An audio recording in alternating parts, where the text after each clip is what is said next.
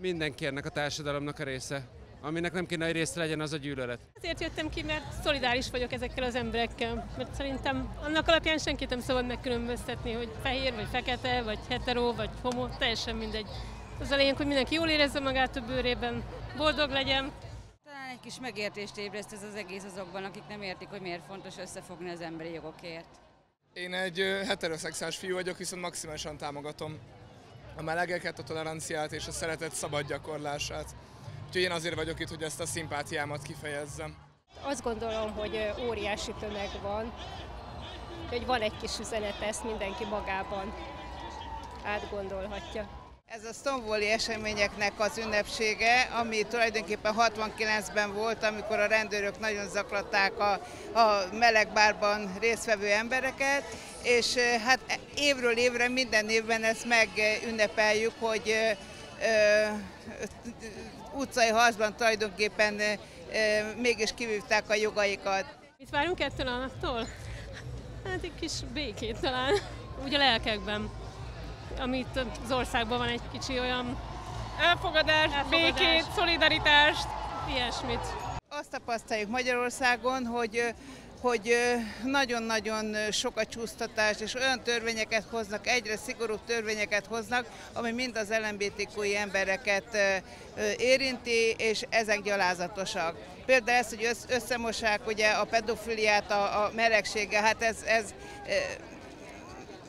szavakat nem lehet rámondani, hogy mennyire, mennyire igazságtalan és mennyire bántó, és azt szeretnénk, hogyha a meleg embereket is hagynák élni, ugyanúgy boldogok akarnak lenni, mint bárki más. Ez a népszavazásnak a, az öt pontja is annyira csúsztatás és annyira valóság alapot nélkülöz. Tehát Magyarországon szó sincs arról, sose volt, hogy óvodába elmenjenek aktivisták, és a, a gyerekeknek nem váltó műtéteket propagáljanak. És általános iskolásokhoz se szoktak elmenni, hanem középiskolásoknak van a tulajdonképpen a melegség és megismerés program. Tulajdonképpen most olyan törvényt hozott, ami már megvan tulajdonképpen a kormány, ami tiltja a, arról az, hogy beszéljenek az iskolában osztályfőnök órán a melegségről, mert ugye nagyon sok a diszkrimináció, és nagyon sok azért a homofób ember, és ez megnyilvánul az iskolákban is, de tulajdonképpen arra kellene inkább fölkészíteni a fiatalokat, hogy,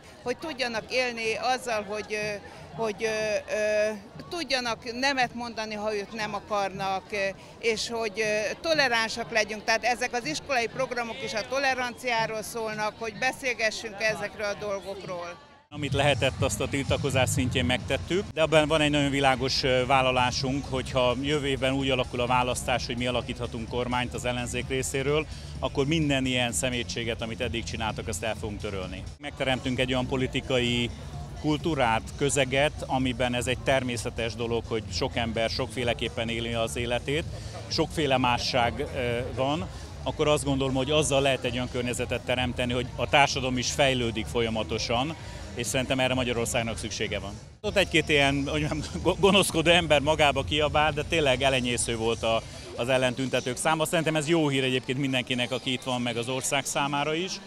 Szerintem jó arról tudni, hogy Magyarországon a, a munkavállalók, a fiatalok, a 18 éves idősebbek, akik most azon gondolkodnak, hogy hova menjenek tovább tanulni, 83%-uk olyan munkahelyet választan, amelyikről tudja, hogy nyitott. És nyitott mindenki felé, és a nyitottak vagyunkkal is egyébként a, természetesen itt vagyunk a Budapest Pride-on, és kiállunk az LMBTQ emberekért, viszont ezt egyáltalában is értelmezik, és azt gondoljuk, hogy fontos uh, ugyanúgy kiállni az etnikai kisebbségek, a, a nők és férfiak ugyanolyan lehetőségei mellett, a fogyatékkal élők mellett. Tehát, hogy, hogy uh, olyan légkört kialakítani a nap végén, ahol tényleg mindenki elfogadva érezheti magát, és ez Magyarországon is ez egy olyan dolog, amire igény van, és nem hiszem, hogy bárki, hogyha megkérdezik, hogy egyébként elfogadná, ha őt hátrányosan megkülönböztetnék a munkahelyén bármilyen adottsága, származás, szexuális orientáció vagy más jellemzője miatt, akkor azt mondaná, hogy persze legyen így. Tehát hogy egyébként, hogyha ha innen nézzük, akkor abszolút um, józanésztel belátható, hogy, hogy a nap végén mindenkinek az a célja, hogy nyitott munkahelyeken dolgozhasson, és minél nyitottabb közegben élhessen, és azt gondoljuk, hogy itt lenni, vagy gondolom én is, hogy itt lenni a Budapest Pride-on egy fontos lépés ebbe az irányba. Szeretném, hogyha ismét kordonok nélkül lehetne vonulni, mint a régi szép időkben, de pont amikor a kormány éppen egy gyűlölethadjáratot indít az LMBT plusz barátaink ellen, akkor attól tartok, hogy ezt nem lehet megkockáztatni. Ezzel együtt tényleg néhány szerencsétlen, gyűlölettől eltorzult arcú figura kalimpált ott a kordon túloldalán. Mondtuk nekik, hogy jöjjenek velünk, mutattuk a szívecske, ne legyen bennük tényleg ennyi negatív érzés, de nem hatottuk meg őket egyelőre, talán majd legközelebb. Évről évre most már én is visszajáró vonuló vagyok, mert hogy ebben az autoritár rendszerben, ahol folyamatosan démonizálnak és kriminalizálnak társadalmi csoportokat, mindig mást, akkor szolidaritásunkat kell kifejezni, mert hogy kit szeretsz, hogy miben hiszel, hogy milyen a politikai nézeted, az magánügyet. Az államnak nem ezzel kellene foglalkoznia. A parlament kiüresedett, maximum az ellenzékot fel tudja hívni a figyelmet valamire, de arra, hogy támogassák az ellenzéknek bármilyen területen, bármilyen indítványát, arra nem lehet számítani, viszont arra lehet, hogy nyilvánosságot kapjanak bizonyos dolgok, még mindig milliós nézettsége van egy-egy képviselő felszólalásának. Az utcán felhívni kell, szintén meg lehet jelenni, és kell is.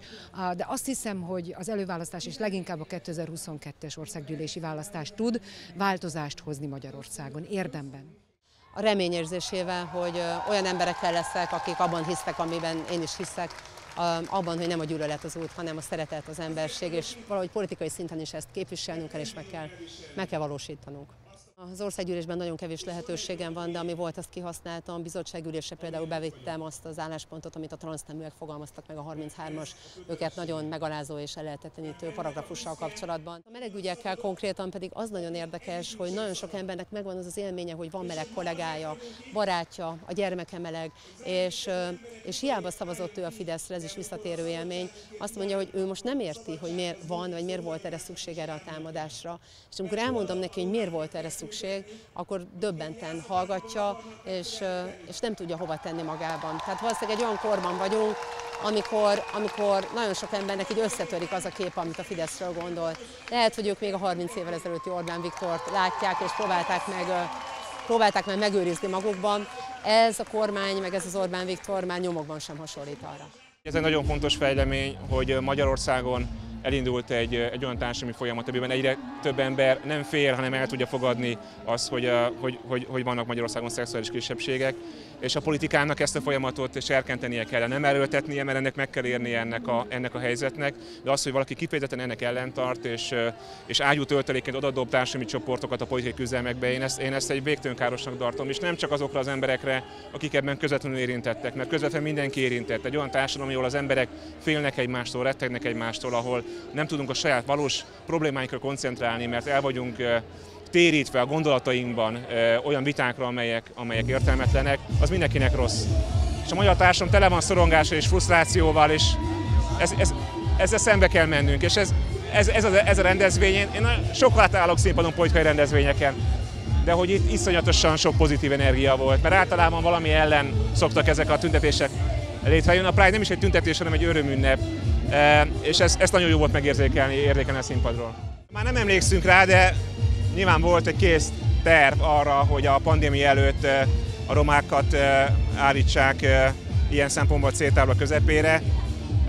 Fel kell készülnünk arra, hogy úgy tűnik, hogy ennek a kampánynak az egyik szerintem mellékszála az lesz, hogy hogyan próbálják ezt a kérdést egy ilyen végtelenül manipulatív módon a napi rendet asszigálni. Nekünk ellenzéki politikusnak az a dolgunk, hogy az érdemi kérdésekről kezdeményezzük vitát. Én azért nyújtottam be azonnal azokat a népszállási kérdéseket, amiről valóban tudni kéne az emberek véleményét.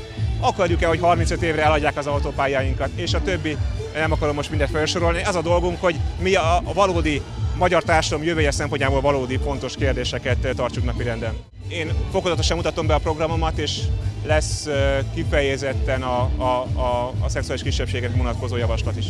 A mai nap két rendkívül szép dolog is történt Magyarországon. Az egyik az Tokióban történt, Szilágyi Áron harmadszor is olimpiai bajnok lett, aminek minden magyar örül, például a meleg magyarok is nagyon örülünk annak, hogy Szilágyi Áron háromszoros olimpiai bajnok. És történt egy második győzelem, gyakorlatilag a 25. Pride az szerintem nagyon békés és nagyon jó hangulatban ment le. Volt néhány ilyen hát most hogy mondjam, érdekes és ellentüntetés kezdemény, ahol, ahol néhány ember mindenféle molinókkal ordított, és azt, a, azt egyébként a, a Pride tüntetői nagyon szépen megtapsolták, és, és, és, és én a Szabadsághídról, vagy a Ferenc József hídról azt hallottam, hogy azt kiabálják nekik, hogy mi is szeretünk titeket. Tehát, hogy egyébként én azt gondolom, hogy a gyűlöletet szeretettel lehet ö, ö, hatástalanítani, hiszen azok az emberek, akik gyűlölnek, azoknak nagyon nagy szükségük van a szeretetre, úgyhogy én azt gondolom, hogy, hogy fontos az, hogy, hogy ezek felé, az emberek felé is szeretettel ö, forduljunk.